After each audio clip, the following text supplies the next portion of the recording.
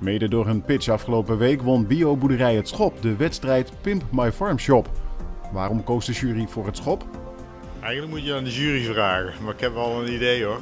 Ik denk dat wij al behoorlijk uh, ver zijn in, uh, in, in de, laten we zeggen, het ontwikkelen van de, van de winkel. Maar uh, zij zien nog wel kansen om hem nog verder te perfectioneren.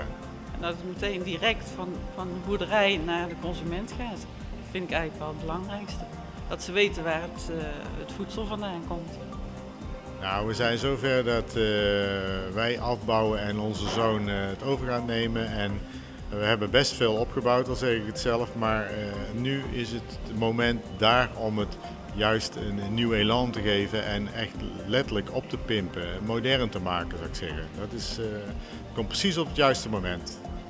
Als de, de, klanten hier binnenkomen, de winkel, dan moeten ze zeg maar, een soort wow-effect hebben. Zo, wow, het is uh, mooi.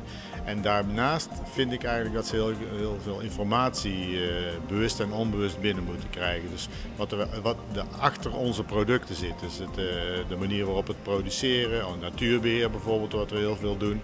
En, en wij vinden dat onze website een pimpbeurt moet hebben. Dus ook buiten de fysieke winkel willen wij heel graag dat ook de informatie moderner is, uh, up-to-date. Uh, alle dingen waar wij eigenlijk geen verstand van hebben en waar we food inspiration bij nodig hebben.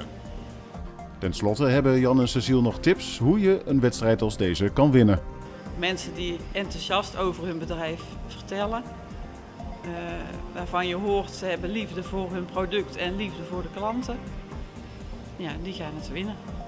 Wat heel belangrijk is dat je je moet kunnen verplaatsen als boer in, in je klant, hè, in je consument. Want wij zijn toch boer en dat is best wel een uitdaging hè, om dat heel goed te kunnen doen. Dus uh, vooral heel veel contact maken met je klanten, denk ik.